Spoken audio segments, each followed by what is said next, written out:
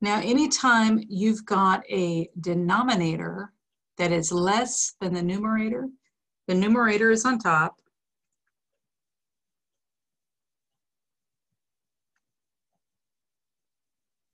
and the denominator is on the bottom.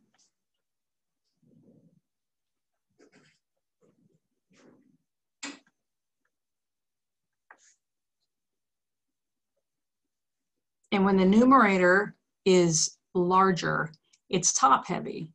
So we are going to, because all fractions are also division problems, this is also read as 7 divided by 4. So 7 divided by 4, 4 goes into 7 one time, and that's a remainder of 3 over 4. So we just drag the denominator over. So the whole number, 4 goes into 7 one time, the remainder is 3, and then pull the denominator over. So for 9 over 6, 9 divided by 6 is 1, remainder 3 over 6. Now, 3 over 6 can be reduced because 3 is half a 6.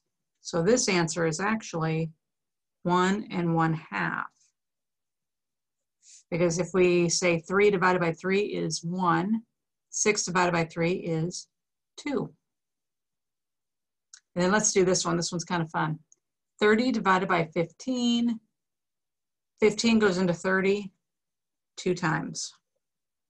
There is no fraction, just a whole number.